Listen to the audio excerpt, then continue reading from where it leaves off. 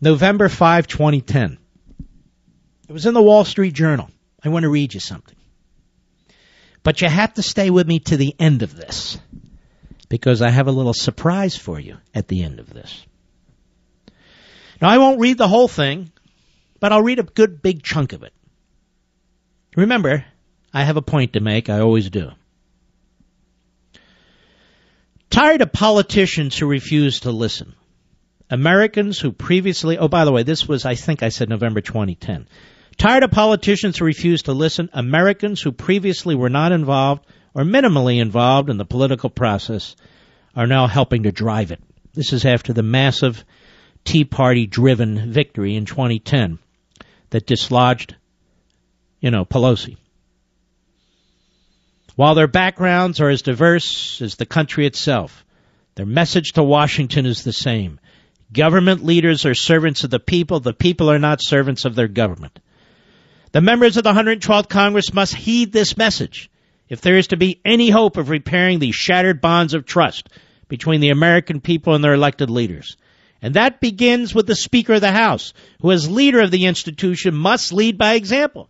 Accordingly, there are several steps I believe the next speaker should be prepared to take immediately. Among them, among them, no earmarks. Earmarks have become a symbol of a broken Washington and an entire lobbying industry has been created around them. The Speaker of the House shouldn't use that power of the office to raid the federal treasury for pork barrel projects. To the contrary, the Speaker should be an advocate for ending the current earmark process and should adhere to a personal no earmarks policy that stands as an example for all members of Congress to follow.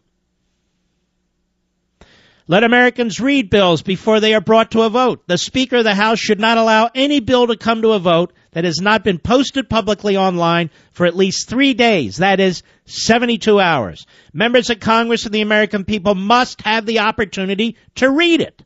Similarly, the Speaker shall insist, or should insist, that every bill include a clause citing where in the Constitution Congress is given the power to pass it.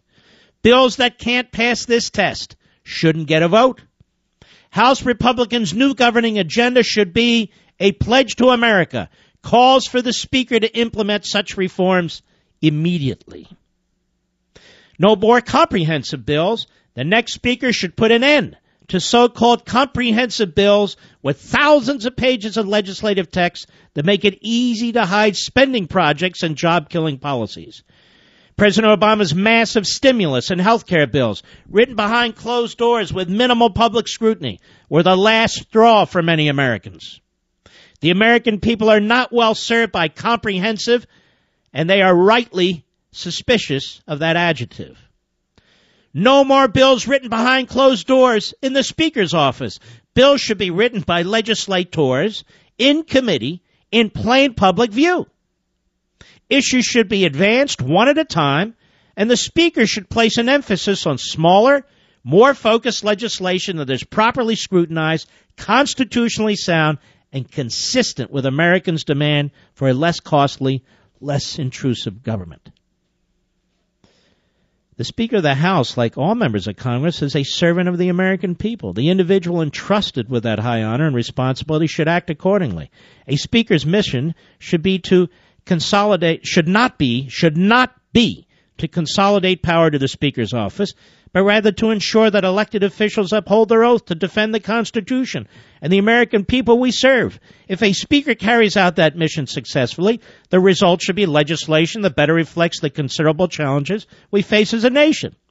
The American people deserve a majority in Congress that listens to the people, focuses on their priorities, and honors their demands for smaller, more accountable government. Accountability starts at the top, in the office of the Speaker. Right, Mr. Boehner? That's you.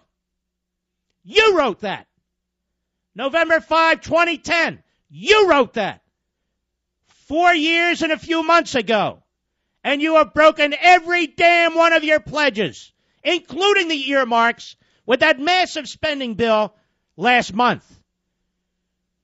You wrote this in the pages of the Wall Street Journal, John Boehner, and you have lied through your teeth to the American people. Squish, spineless establishment.